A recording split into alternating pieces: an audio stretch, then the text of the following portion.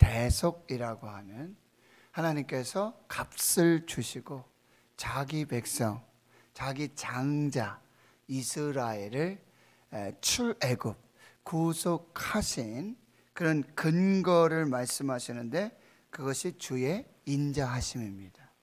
헤세드, 주의 사랑하심, 주의 극률하심.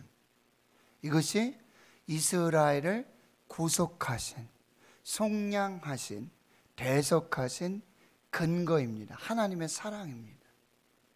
우리를 구속하시고 우리를 대속하신 이유와 근거는 하나님의 사랑입니다. 청량할 수 없는 사랑, 갚을 수 없는 사랑, 영원한 그 사랑으로 우리를 구원하셨고 동일하게 이스라엘 그의 백성들을 구원 하셨음을 말씀해 주시고요. 그 구속의 능력이 뭐냐? 어떻게 그 구속을 이루었는가? 바로 주의 힘으로, 주님의 능력으로, 바로 이 구원의 역사를 이루어 주셨다. 그래서 어제 말씀에도 보면 주와 같은 신이 없나이다. 하나님과 같은 분이 없으세요. 그렇게 전능하시고 능력 있으시고 그렇게 완전한 하나님이 없으시다. 그 하나님의 힘으로 사람의 힘이 아닙니다. 사람의 능력이 아닙니다. 오직 하나님의 힘으로 그의 백성 이스라엘을 구속하셨다. 구원하셨다 라고 말씀하고 있고요. 그리고 이제 중요한 이 구원의 목적이 뭐냐? 구속의 목적이 뭐냐? 그들을 사랑하시고 그리고 주와 같은 신이 없는 그 권능으로 그 전능하심으로 능력으로 이스라엘 백성들을 구원하셨는데 그 구원의 최종 목적이 뭐냐? 단순히 애굽에서 종으로 노예로 있던 그들을 해방하는 것에 그치지 않는다는 거예요. 아주 중요한 말씀인데요. 그들을 주의 거룩한 처소에 들어가게 하시나이다. 바로 주의 거룩한 처소. 이것이 바로 17절에 보면 주의 기업의 산에 심으시기 위해서 주의 처소를 삼으시려고 주의 손으로 세우신 성소 바로 주의 처소 주의 기업의 산 주의 성소로 들어가게 하시기 위해서 이곳은 어디입니까?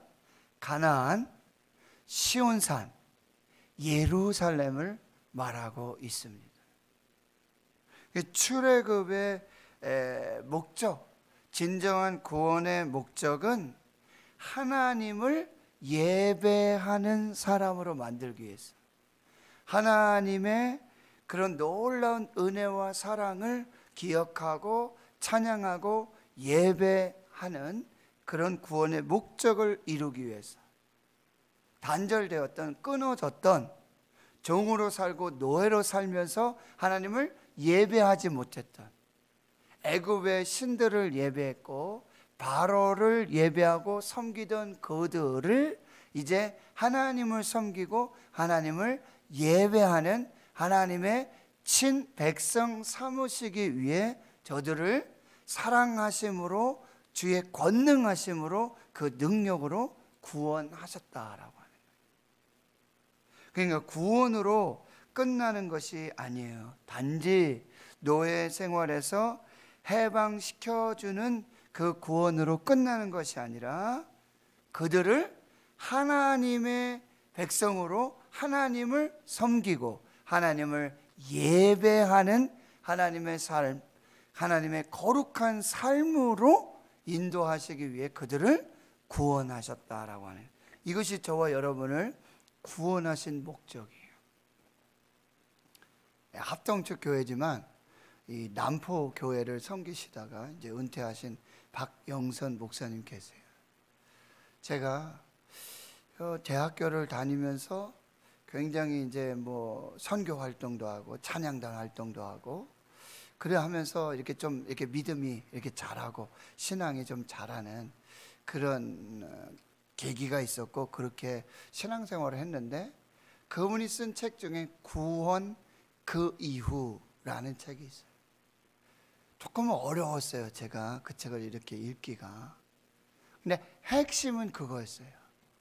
단순히 우리가 세례받고 구원을 받는 것으로 우리의 신앙이 끝난 것이 아니다. 구원 이후의 삶이 중요하다는 거예요. 거룩한 삶이 중요하고 예배하는 삶이 중요하고 하나님을 섬기는 삶이 중요하고 그러기 위해 우리를 구원하셨다. 단순히 천국 들어가는 거, 천국 백성 되게 하는 거 그것으로 끝난 것이 아니에요. 믿음으로 구원받은 이후의 삶이 중요하다. 그래서 굉장히 제가 그 책을 읽고 전부 다 다 이해하고 그렇게 하진 못했지만 굉장히 지금도 항상 기억나는 그 책 제목 그리고 그 주제를 항상 기억합니다. 구원 그 이후 이렇게 죄로부터의 해방이 만으로 끝나는 것이 아니라 하나님의 백성으로 살아가는 거룩한 삶을 우리는 반드시 기억해야 돼요. 구원을 받은 이후에도 삶이 하나도 안 변해요. 똑같아요. 그런데 나는 믿음으로 구원받았다는 거예요. 천국 간다는 거예요. 믿음 중요하죠. 믿음 보고 계시죠. 근데 삶이 예전에 뭐 하나님을 믿지 않고 하나님을 섬기도 안, 섬기지도 않는 그런 삶과 똑같 이게 계속 반복되면서 저 사람이 구원받았는지 저 사람이 하나님의 백성인지 저 사람이 하나님을 예배하는 사람인지 전혀 분간이 되지 않는 그것을 우리는 꼭 기억해야 되는데 우리가 하나님께서 이루신 구원 하나님께 받은 구원을 이제 이루어가는 삶. 구원을 완성은 이제 구원 이후에 하나님을 섬기고 하나님을 예배하는 그 거룩한 삶에 달려 있다는 거예요. 그것이 우리가 받은 구원을 드러내고 우리가 받은 구원을 감사하면서 우리가 받은 구원을 하나님께 영광 돌리는 삶으로 바꾸어 나가야 한다라고 하는 것입니다. 이것을 꼭 우리가 기억하고 이제는 우리는 천국 가는 나그네 순례자의 삶 본향이 있음을 항상 기억하며 그 본향을 향해 나가는 이 순례자의 삶 철로 역정 그 믿음의 삶을 우리가 살아 나가야 한다는 거예요. 14절 14절에서 16절까지 보면은 이제 이 홍해의 기적 사건, 이 놀라운 구원의 역사를 여러 나라가 듣습니다. 떱니다. 블레셋 주민이 두려움에 잡히고 에돔 두려움들이 놀라고 모압 영웅들이 떨림에 잡히고 가나안 주민이 다 낙담하나이다. 이제 여호수아가 요단을 건널 때 정탐꾼 둘을 보내잖아요. 그런데 여리고성의 기생 라합이 그렇게 고백하는 것이죠. 너희들이 홍해를 건널 때 하나님의 그 놀라운 역사, 애굽 바로 왕에게 그 군대들에게 행한 그 역사를 보고 우리가 그냥 간담이 높고 우리가 정말 그 살아계신 그래서 고백하는 게 뭐예요? 상천하지에 하나님과 같은 분이 없음을 깨달았다. 그 보고 믿음으로 고백하는 게그 믿음으로 기생 라합이 구원을 받습니다. 그런 놀라운 역사들이 이제 나타나게 되고요. 16절에 보니까 놀람과 두려움이 그들에게 임함에 주의 팔이 크므로 그들이 돌같이 침묵하여 싸우니 언제까지요?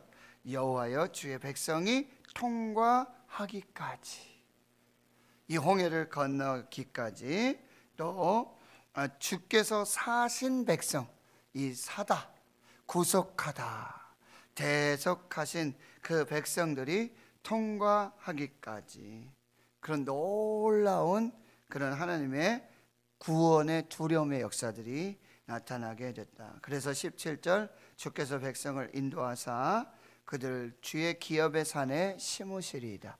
물론 이제 1차적으로는 시온산, 신의 산이죠. 신의 산에서 이제 하나님을 대면하여 만나고 거기서 하나님의 말씀을 받고 이제 결과적으로는 바로 시온산, 예루살렘으로 인도하시는 그 시온 산성 그리고 그 성전으로 인도하시는 하나님의 역사를 이제 보게 되어지는 것이죠. 여러분, 우리는 구원 이후에 우리 삶의 방향과 목적이 분명해야 돼요. 어디로 가야 하는가? 바로 하나님을 예배하는 거룩한 예배자, 거룩한 삶으로 우리의 삶이 계속해서 진행되어야 된다. 단지 노예에서 벗어나고 정의 삶에서 벗어나는 삶이 아니라 단순한 해방이 아니라 이제 하나님을 섬기는 거룩한 삶으로 나아가야 함을 우리에게 말씀하시고요. 그 구원하신 하나님을 우리가 고백하는 그 찬양의 결국은 뭐냐? 바로 18절입니다. 여호와께서 영원 무궁하도록 다스리시도다. 하나님이 영원히 다스리신다. 하나님이 영원히 통치하신다. 이것이 우리의 찬양의 아주 대주제예요. 우리가 하나님을 찬양하는 놀라운 신앙의 고백. 하나님이 영원토록 우리를 다스리신다. 영원히 통치하신다. 영원한 왕이 되어 주신다. 그 찬양으로 나아가는 것이죠. 이제 19절 이하에 보면 모세 누이 미리암이 여자 선지자로 이제 기록이 되어지고요. 손에 소고를 잡고 춤을 추면서 이제 여인들과 함께 그 구원의 하나님을 찬양하고 있는 것입니다. 여러분, 구원의 감격을 맛본 사람, 구원을 경험한 사람은요, 그냥 한 번 찬양하는 것이 아니라 계속해서 찬양함으로 그 구원을 계속해서 되새기고 그 구원을 기념하고 그 구원의 감격 속에서 계속해서 살아가는 거예요. 그 구원의 감격을 계속해서 들어가는 아, 드러내는 그런 삶의 모습이 뭐야? 찬양이 끊이지 않는 거예요. 입만 열면 할렐루야 찬양합니다. 여호와를 찬양하라. 그 구원하신 하나님, 그 구원의 능력, 구원의 사랑하심 하나님 찬양합니다. 이것이 뭐요? 날마다 계속 되고 있다라고 하는 거예요. 지금 미리암과 여인들이 이제 모세의 찬양을 받아서 마치 화답을 하듯이 돌림 노래로 이렇게 하나님을 찬양하고 있는데요. 이것이 바로 우리가 하나님이 이루신 구원을 기념하고 기억하고 계속해서 잊어버리지 않고 계속해서 하나님 앞에 나아가는 그 방법이 뭐냐? 하나님을 찬양하는 것이다. 시편 150편에 호흡이 있는 자마다 여호와를 찬양하라. 뭘요? 비파와 수금으로 속어 가지고 모든 악기를 동원해서 하나님 찬양하고 어떻게 춤을 추면서 찬양하고 손뼉을 치면서 찬양하고 정말 온 마음과 뜻과 정성을 다해서 구원의 하나님을 찬양함을 우리에게 보여주고 있는 것이죠. 여러분 이렇게 여인들이 이렇게 전쟁에서 승리하게 하신 하나님을 찬양하는 것은 이제 나중에 사무엘상에 가보면 어떻게 합니까? 사울과 다윗이 이렇게 전쟁에서 승리하고 돌아오니까 여인들이 어떻게 춤을 추면서 사울은 천천히고 다윗은 만만이다. 이런 찬양의 모습들이 나타나게 되어지는 것이죠. 여러분, 이 찬양을 멈추지 마십시오. 이것은 무엇입니까? 바로 우리를 구원하여 주심. 그리고 모든 원수 대적 가운데 우리를 승리하게 하심. 그 하나님을 기억하고 기념하면서 우리 마음에 새기면서 하나님께는 뭐요? 더 큰 영광을 올려 드리는 것. 이것이 바로 우리에게 행하신 구원을 기념하고 기억하는 또 다른 방법이 되고 있다라고 하는 것입니다. 결론 맺습니다. 사랑하는 성도 여러분, 구원으로 끝나지 않습니다.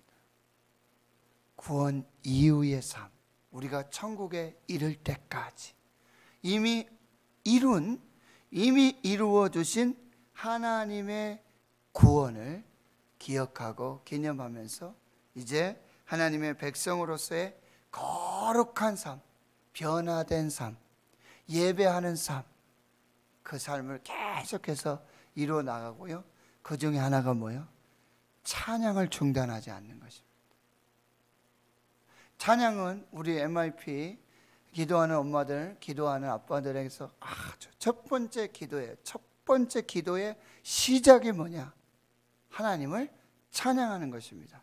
그것이 막 손뼉 치면서 소리 내면서 뭐 악기를 동원해서 그렇게 찬양하는 찬양의 방법도 있지만 하나님이 누구신가? 하나님의 성품과 하나님의 놀라운 그 역사를 인정하고 고백하고 그렇게 하나님 앞에 영광 돌리는 것. 이것이 찬양입니다. 하나님이 누구신가? 하나님이 행하신 일, 하나님의 역사, 하나님의 성품. 이것을 인정하고 고백하고 자기 입술로 하나님 앞에 선포하는 것. 이것이 찬양이에요. 이 찬양이 여러분 중단되지 않아요. 이것이 너무나 중요해요. 하나님을 아는 만큼 찬양해요. 하나님이 어떤 일을 행하셨고, 하나님이 누구시고, 하나님께서 우리에게 이루신 그 구원을 인정하고 고백하고 선포하는 삶. 이것이 우리 삶에 중단되어서는 안 거예요. 계속해서 그 구원을 기념하고 기억하고 되새기면서 인정하면서 하나님을 높여드리는 것. 이 찬양의 삶이 오늘도 우리 삶에 계속될 수 있기를 주의 이름으로 축원합니다. 하나님 감사합니다.